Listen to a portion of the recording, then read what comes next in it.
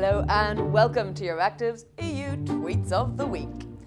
Europe decides to vaccelerate, attack on Journo provokes Slovenian debate, and Merkel's forgetful while Macron gains weight.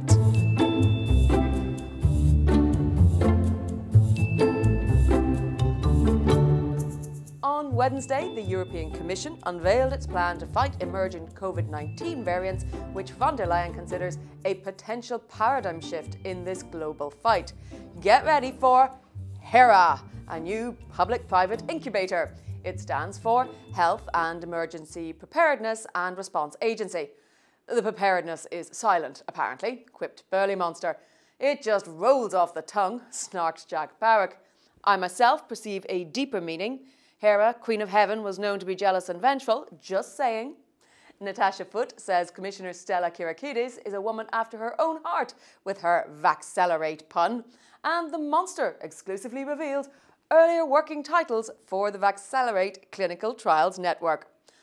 Oliver Grimm, while interested in the Hera incubator, begged his fellow Brussels correspondents at the press conference to please ask VDL about the attack on our colleagues by the Slovenian Prime Minister. Ah, yes, it's certainly not all pun and games for the press pack, as the Slovenian Prime Minister took aim at a journalist in a personal attack.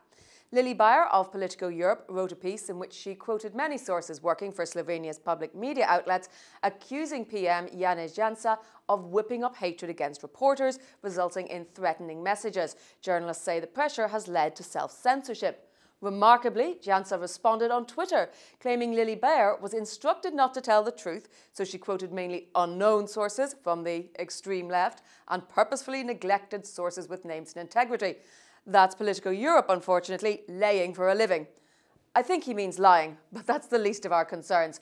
What's pretty amazing about the way that the Slovenian Prime Minister lashed out at this article and its author is that it is precisely acted out the behaviour described in the piece verifying the reporting in real time, pointed out Naomi O'Leary. A Prime Minister publicly harassing a journalist. Where have I seen this before?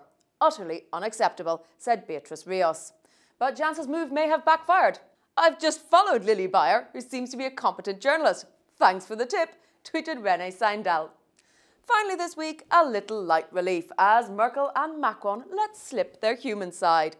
Very few people know that for 10 long seconds, Europe was on the verge of collapsing, joked Carol Gottfried after video of Merkel forgetting her mask went viral. We are all Angela Merkel, said Marta Dominguez. Merkel doing what we all do about 10 times a day, added Jack Parrock. I'd wager 30% of Merkel's support is due to her politics and 70% is due to relatable videos like this, said James Jackson. You're not wrong, James. Meanwhile, in France, Macron absolutely, totally, definitely did not gain weight. He gained density and maturity, according to an official statement. According to Macron, gaining a few kilos is a positive event as it gives you substance and maturity. Don't be afraid, love your body, urged DG Meme. The next time someone says, I've put on weight, I'm definitely going to borrow this line, said Gareth Harding. And that's it for another week. Join me again next Friday for more snarks and larks in the Brussels bubble Twitter sphere.